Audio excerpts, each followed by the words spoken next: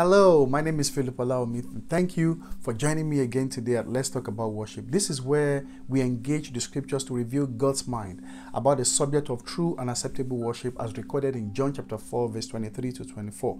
And our goal is to be able to create a worship culture that is pleasing to the Father at all times. Today we want to continue about um, the worship dynamics. This is going to be part three. And today I want to focus on your worship voice, your your voice, your worship voice and um, and language. So let us get right on.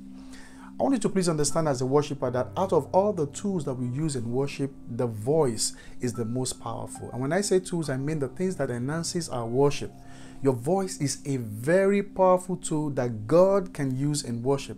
And as a matter of fact, your voice is the most important tool in worship that the Holy Spirit can ride on. Why? Words give direction.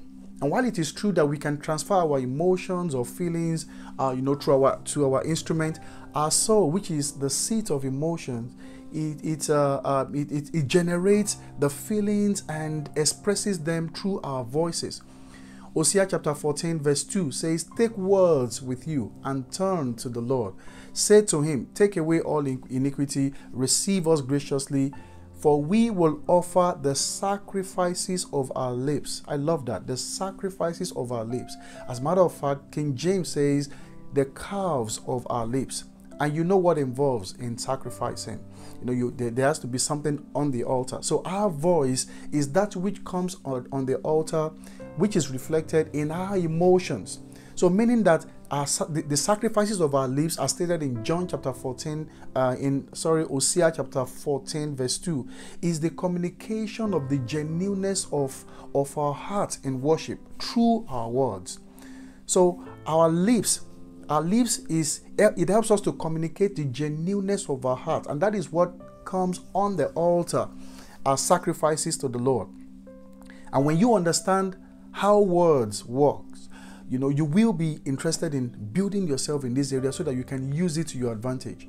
You know in genesis chapter 1 when uh, the earth was void and um, um, everything was empty god spoke and things changed. Genesis chapter 1 verse verse uh, 3 to 4 the bible said and god said hear that god said let there be light and there was light. And god saw that it was good and divided the light from darkness. So you will notice that god saw what he said God said it and he saw it. So it is in worship.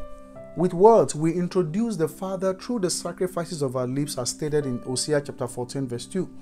And I want you to please know that everything that God does in worship is done through His Word. In uh, Psalms chapter 107, verse 20, the Bible mentioned that uh, uh, when God wanted to heal, He sent His Word. He said, He sent His Word and healed them and delivered them from their destruction in Joshua chapter 1, verse 9, God told Joshua again, He said, Have I not commanded you? That's words. Have I not commanded you to be strong and be of good courage? Do not be afraid nor be dismayed, for the Lord is with you wherever you go. So, words is how God encourages us in the place of worship. He encourages the worshiper, encourages the people as well. And also, when God wanted to secure the redemption of man, the Bible said in John chapter 1, verse 14, it said, And the word became flesh. Jairus' daughter, Jairus' daughter died, and Jesus said, Little girl, I say unto you, arise. So when you lace your words with tunes, with melodies, or you wrap you wrap it around, uh, you know, melody, it becomes something beautiful, something pleasant to usher in God's presence, to bring in God's presence. And as we worship, I want you to please know that our emotions, they have a place in worship. We need to understand that our emotions empower our words because when you are emotional, um, you know there is a coordination that makes you one. Emotions unite your spirit, soul, and and body. There is no way your heart can be in a, you know your heart can be fully involved in a situation or in, in, in anything you're doing if your emotions are not involved. And um, when this happens, spiritual forces are engaged because unity is the language of the spirit. In Genesis chapter 27, Isaac demanded for venison because he wanted to build up his emotion. He wanted to build up his emotion to stir up his spirit in order to be able to release the blessing. And after Jacob received the blessing, there was no way to reverse it. Esau thought it was just, oh, you know, you just declare it, you just say it. But it's really more than that. He begged his father, so just say a word. No, it's not by just saying it you know, there is a right time to say it. There is something that needs to be built up. There's something that needs to be stirred up before that word is released. So, this is the major reason why we need to be careful when we speak, when we're angry. Your words are dangerous during these times, especially over people that you have authority over, like family or the people that you are leading. What you say at this point invites spiritual forces, whether good or bad, because your words can be hijacked by spiritual forces because you invited them. Unity is the language of the Spirit. And you know, this is the need, this is the this is the reason why we need to be we need to have rule over our emotions and be able to use it rightly. And uh, uh, you need to know that when when when you are emotional, whatever you speak at that time carries power than when you are not. And when somebody is angry, you know, they rain a lot of havoc when uh, uh, uh, you know, which they later come to regret when they are when they are sane. So, our emotions they are very powerful. They are very important in worship if we know how to use them rightly. Our emotions help to to unite our spirit, soul, and body for God to take it over. And when you involve your emotions genuinely in worship, you get the attention of the Father. Jeremiah chapter 29, verse uh, 12 to 14 here. He said, Then you will call upon me and go and pray to me, and I will listen to you. Verse 13, it says, And you will seek me and find me when you search for me with all your heart, and I will be found by you. That passage said, you, you will seek me and find me when you seek me, when you search for me with all your heart. There is no way that your heart will be coordinated, your heart will be fully in anything if your emotion is not involved. And we need to understand as worshippers that worship has a language. Worship has a language. A wise man once said that one of the important things to being successful is to learn the language of your profession. You know, when God wanted to put his blessing upon the people, he told Moses, he said, This is how you will put blessings on my people. In Numbers chapter 6, verse 22 to 27, he said, The Lord spoke to Moses, saying, Speak to Aaron and his sons, saying, This is the way you shall bless the children of Israel. Say to them, The Lord bless you and keep you. The Lord make his face shine upon you and be gracious to you. The Lord lift up his countenance upon you and give you peace. Verse 27 So they shall put my name on the children of Israel, and I will bless them. So, your worship language is saying God's words back to Him and reflecting upon His deeds and His greatness. And every worshiper needs to know that God's names they reflect His deeds. And when you go on an in depth study into His names, how He came about those names, the event that surrounded it, it will give you a very strong stand. It's a very strong tool that you can use in, um, in, in, in worship. And as a worshiper, I want you to please note the place of holiness in worship. Holiness, it empowers your worship voice. It empowers your worship voice. A life of sacrifice empowers your worship voice. It creates a thick atmosphere of God's presence around you.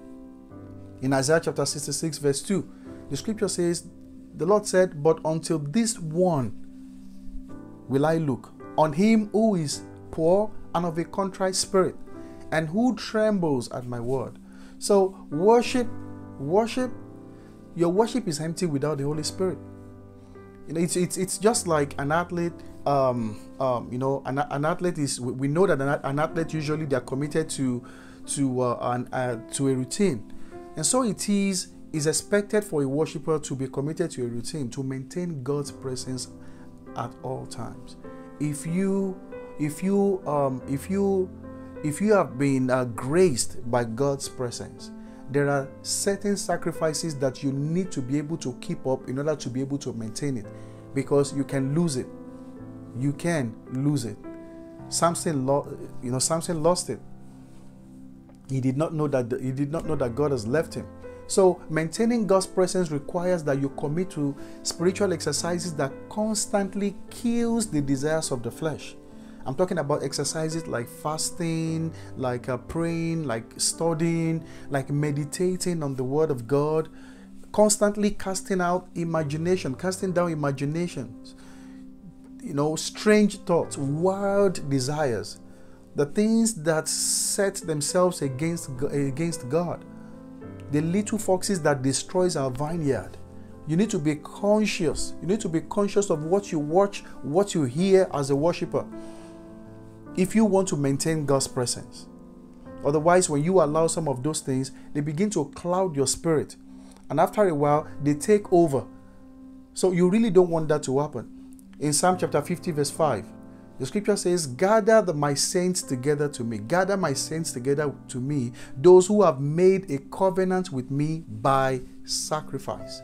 So if you are a worshiper, you need to be, you need to uh, subscribe to some exercises, spiritual exercises that will be purified, that will purify your heart, purify your, you know, uh, uh, you know, purify your spirit, purify your body, and run away from temptation in uh, uh, 2 Timothy chapter 2 verse 19 the bible says that let everyone everyone let everyone who names the name of the lord depart from iniquity you know so today we've been able to discuss on the importance of your voice in worship how it works the place of emotions in worship, uh, your worship language, the place of holiness, and how to maintain God's presence. Next week, if the Lord permits, I would like to address some practical exercises to empowering your voice in worship. I want to thank you for joining me uh, for joining me today. Please don't forget to subscribe to my channel to be notified when we post more more videos.